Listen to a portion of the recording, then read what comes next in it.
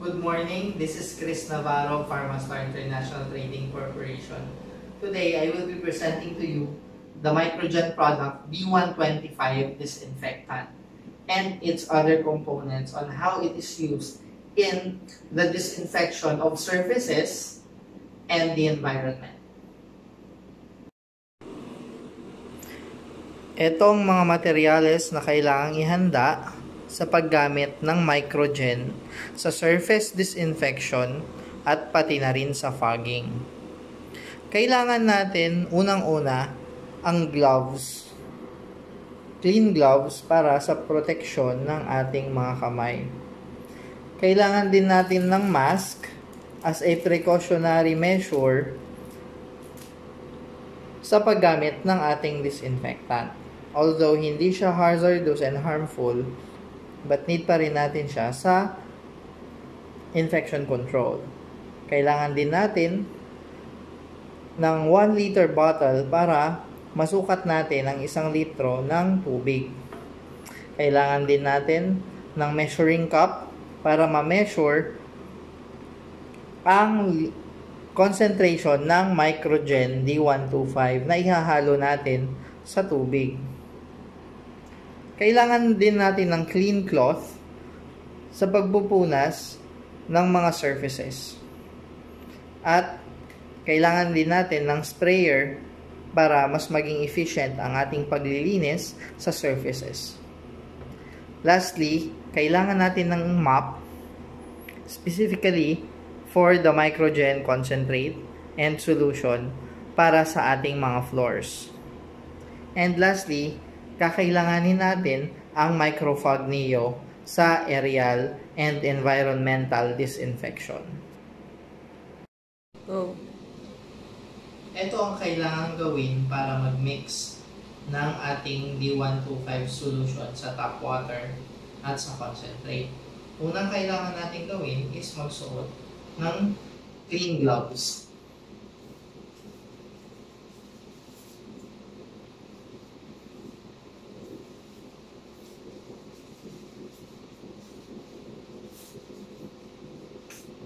Then, kailangan natin mag-prepare ng tap water.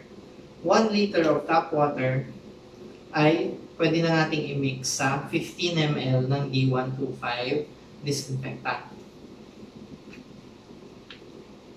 Kailangan natin ng measuring cup dito or syringe para ma-measure natin ang 15 ml.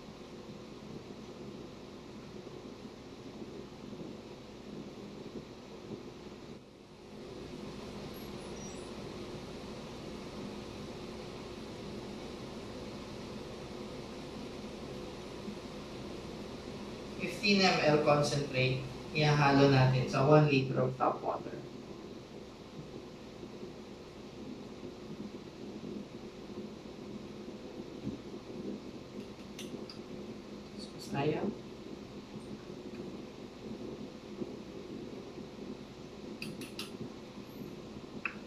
Tapos na ang ating pagmimix ng concentrate.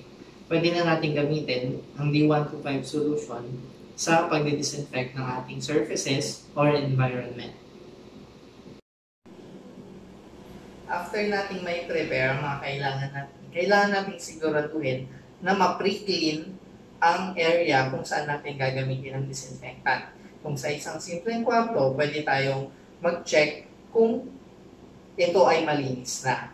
Pag hindi, kailangan natin siyempre magwalis muna para matanggal yung mga dumi and other soils na kailangan tanggalin.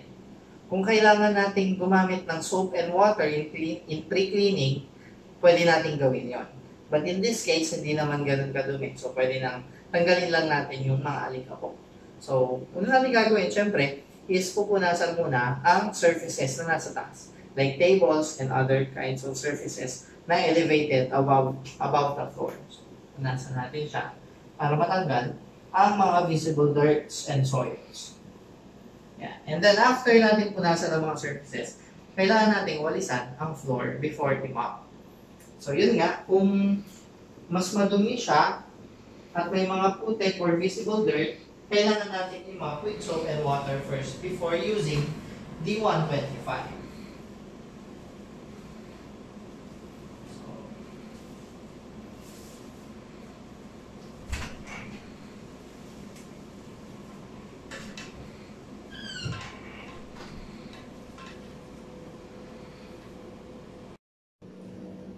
Ang next step natin is sa disinfection process na.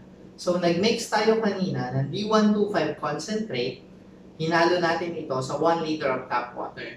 Naglagay ako ng konti dito sa sprayer para mas efficient ang paggamit natin ng D125 disinfectant. So, ganito siya gamitin sa surfaces. I-spray lang siya sa surface na kailangan natin i-disinfect.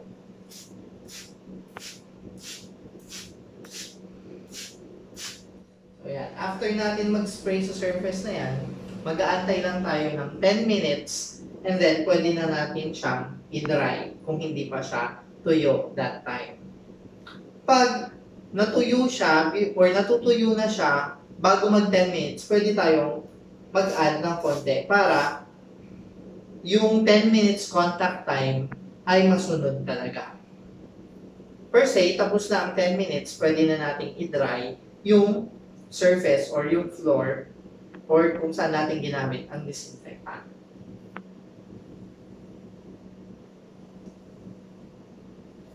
So, one direction lang siya in drying. And after that, ang surface na ito ay considered disinfected na for 12 to 24 hours. Sa pagmamap naman, pwede na tayo gumamit ng sprayer din or pwede tayong gumamit ng timba na hinaluan natin ng D125 concentrate. So ngayon, um, gagamit tayo ng spray. Pag gagamit tayo ng timba, after natin ma-soak ang mop, kailangan lang natin siya i-dry ng konti. And then, i-apply na siya sa floor na kailangan natin i-mop. Pag sprayer naman, mag-spray lang tayo ng D125 solution sa floor. Parang ganito.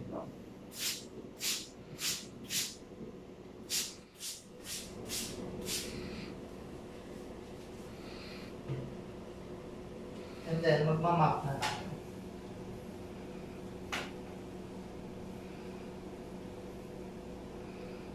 So, one direction lang siya ulit.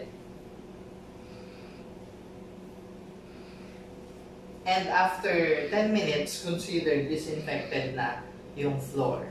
So, we recommend to mop the floor of the facility at least twice a day.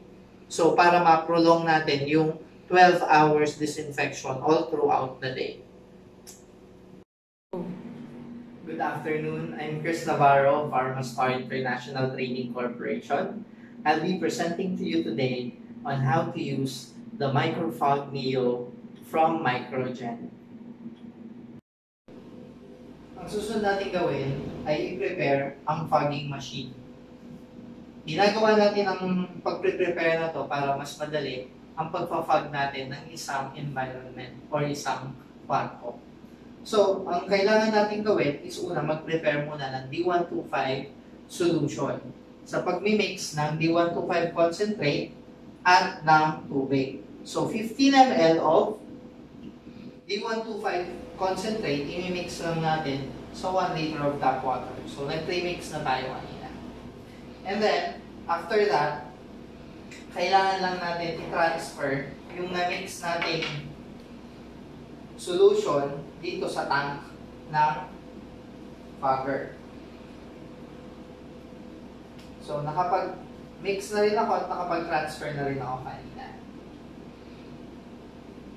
After nating mag-transfer, kailangan nating i-prepare mismo yung fogger.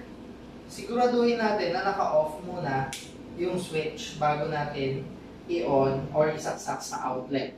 Meron din tayong timer na ginagamit para automatic na matapos yung fogging sa time desired natin. So, per se, usually, ang, ang fogging time natin is 20 minutes.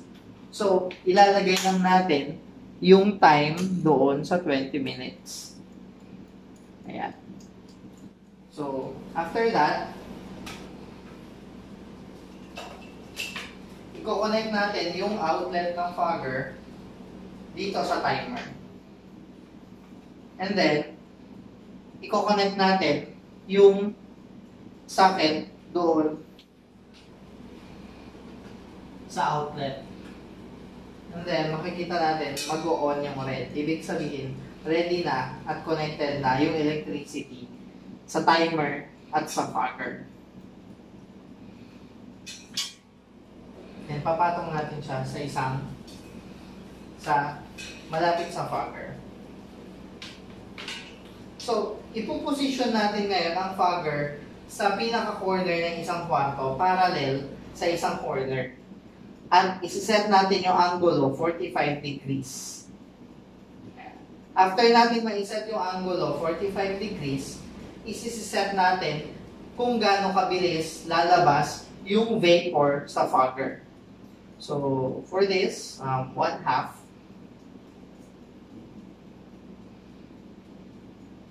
After natin ma-set, ang gagawin na lang natin ay i-on ang fogger.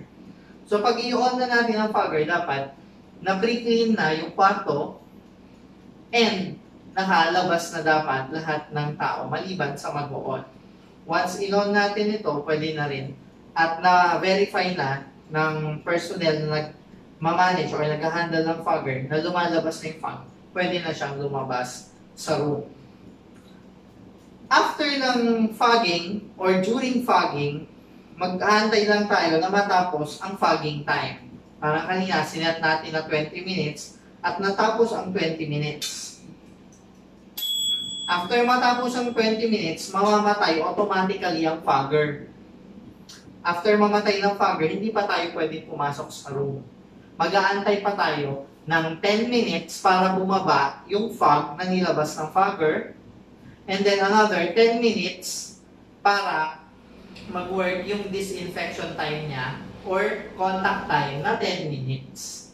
So in a total of 40 minutes fogging process, tapos na ang pagdi-disinfect natin ng environment or ng isang kwarto. Ngayon naman, magfa-fog na tayo mismo ng room. So as I've said kanina, kailangan iset na muna natin yung mga kailangan nating ayusin sa fogging. And before natin i-on yung machine at lumabas sa room, be sure na papatayin muna natin ang mga air conditioning at sarado ang mga electric fan at ang ating mga windows. So, papatay na muna natin ang aircon. So, matay na yung aircon. So, sarado naman yung ating bintana. So, yan. Ready na tayong mag-fog. Set lang natin yung timer. And set natin yung ano. After that, ready na tayong mag-fogging.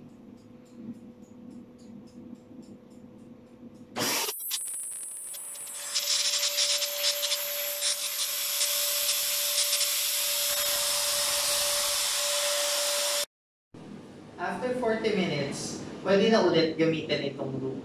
Kasi tapos na tayong mag-disinfect gamit ang Microfog Neo at D125 disinfectant.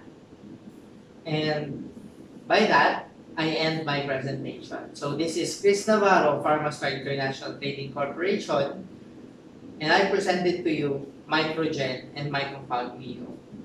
Thank you.